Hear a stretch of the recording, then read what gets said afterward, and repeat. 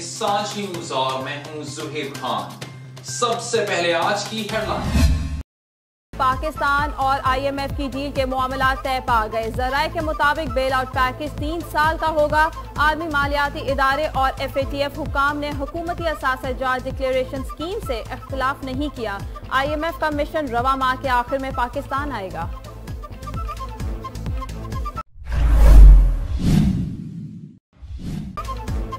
آئی M F سے چور دروازے سے معاہدے ہو رہے ہیں۔ ترجمان نون لیگ کا پارلیمان کو اعتماد میں نہ لینے کا شکوہ۔ مریم اورنگزیب کہتی ہیں، نا اہل حکومت نے مہنگائی کا طوفان برپا کر دیا۔ پشاور میں ایک خرب کے کھڈے ہیں، بی آر ٹی نہیں بن سکے کارکردگی نہ دکھانے والے وزراء اور افسر شاہی کا احتساب۔ وزراء کی کارکردگی رپورٹ وزیر اعظم کو مل گئی۔ جلد اہم فیصلے متوقع۔ وفاقی کابینہ اور بیوروکریسی میں بڑی تبدیلیوں کا امکان۔ وزارت خزانہ اور پیٹرولیم سمیت پانچ قلم دانوں میں تبدیلی کی باز گشت وزیر اطلاعات اور ترجمان وزیر اعظم کی وزراء کی تبدیلی کی خبروں کی تردید۔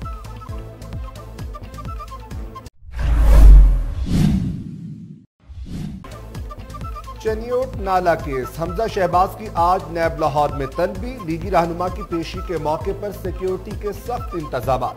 چیئرمین نیب کا بیورو آفس کا دورہ، انکوائریز میں پیش رفت کا جائزہ لیا۔ شریف خاندان کی خواتین کو سوال نامہ بھجوانے پر بھی غور کیا گیا۔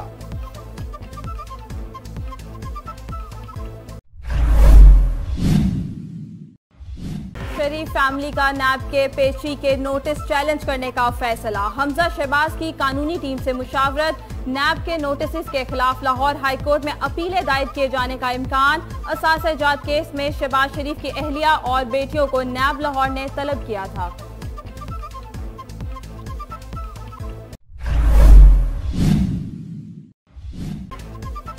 ایل این جی کیس میں گرفتاری کا ڈر۔ لیگی رہنما مفتہ اسماعیل کا حفاظتی ضمانت کے لیے اسلام آباد ہائی کورٹ سے رجوع۔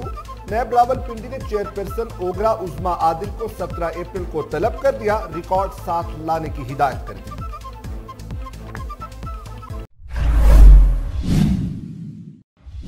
محمد میں وزیر اعلیٰ خیبر پختونخوا کی زیر صدارت صوبائی کابینہ کا اجلاس۔ محمود خان نے قبائلی اضلاع کے لیے صحت کارڈ اور روزگار سکیم کا اجرا کر دیا۔ مشیر وزیر اعلیٰ اجمل وزیر کہتے ہیں، عوام کو بلا سود قرضے فراہم کیے جائیں گے۔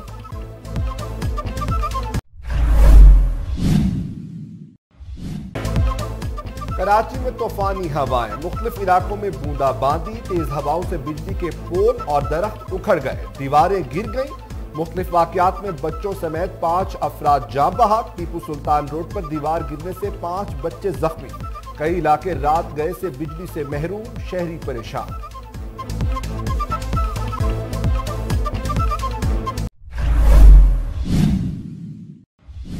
بارشوں سے بلوچستان میں ندی نالے بھپر گئے۔ سلابی ریلے کے باعث ہر نائی کا زمینی رابطہ منقطع۔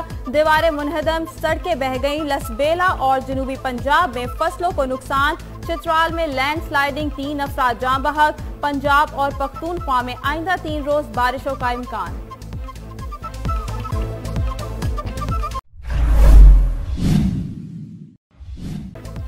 امام کعبہ کی صدر مملکت اور اسپیکر قومی اسمبلی سے الگ الگ ملاقاتیں۔ عارف الوی اور اسد کیسر کا سعودی عرب سے مشکل وقت میں ساتھ دینے پر شکریہ۔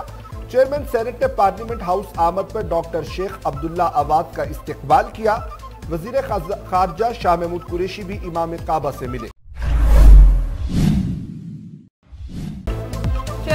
چیئرمین سینٹ صادق سنجرانی قائم مقام صدر بننے کے لیے اہل قرار، اسلام آباد ہائی کورٹ کے جسٹس عامر فاروق نے محفوظ فیصلہ سنا دیا۔ درخواست گزار نے پینتالیس سال سے کم عمر ہونے پر صادق سنجرانی کی اہلیت چیلنج کی تھی۔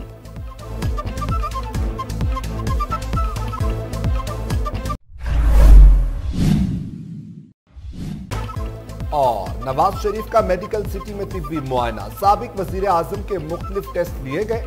ذاتی مولی ڈاکٹر عدنان کے مطابق نواز شریف کو ہارٹ اسٹروک کا خطرہ ہے اعظم کو ضرورت پڑنے پر اسپتال منتقل کیا جا سکتا ہے۔